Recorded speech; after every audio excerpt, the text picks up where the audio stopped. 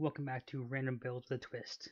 If you watched episode 1, you know that me and Melman ran a random build simulator to get our builds, which gave us our height, weight, X Factor, and superstar abilities. But everything else was determined by the other player. Now, in this episode, instead of going winger and center, I decided to give an idea where we have a one game on goalie, one on defense. But the build you gave the other player to game one, you had to use game two. Now let's look at the builds. As you can see, for game one D-Man, we rolled a two-way defenseman with Heat Seeker, Ankle Breaker, and Relentless at 6-1 to 11. Now game one, Melman will be using this build. Game two, I'll be using this build.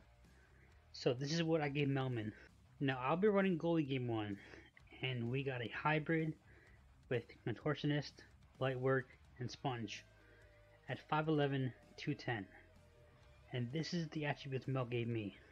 Before we get into game one, I just want to apologize. I'm about to put music over both games because I made a mistake of listening to music while we are playing.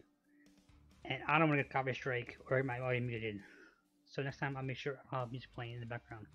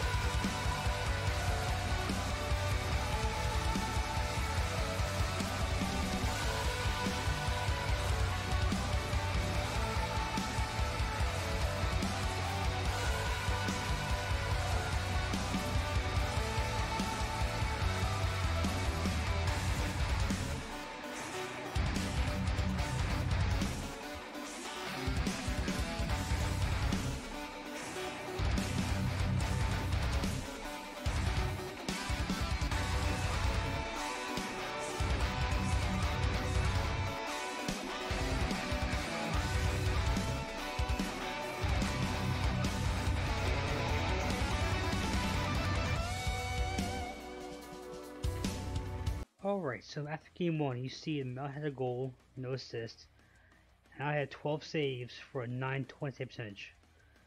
Now for game two, remember we're to switch spots. I'm playing defense, and Mel's playing goalie. So let's see how that goes.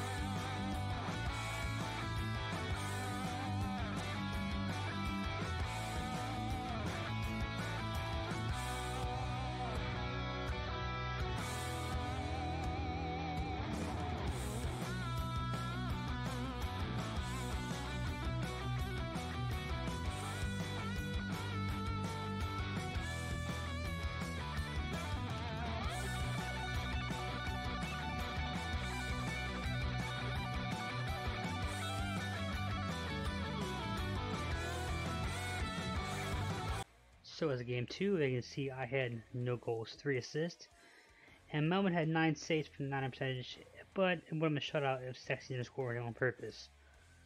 So this is the end of the video. Let me know if you have any different ideas of what we can do, if you enjoyed it, and uh, thanks for watching. Really appreciate it.